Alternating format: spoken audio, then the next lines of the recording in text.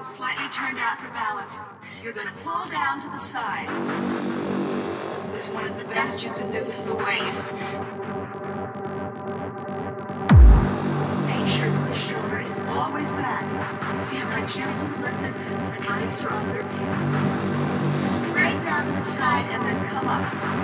Down, up, down, up,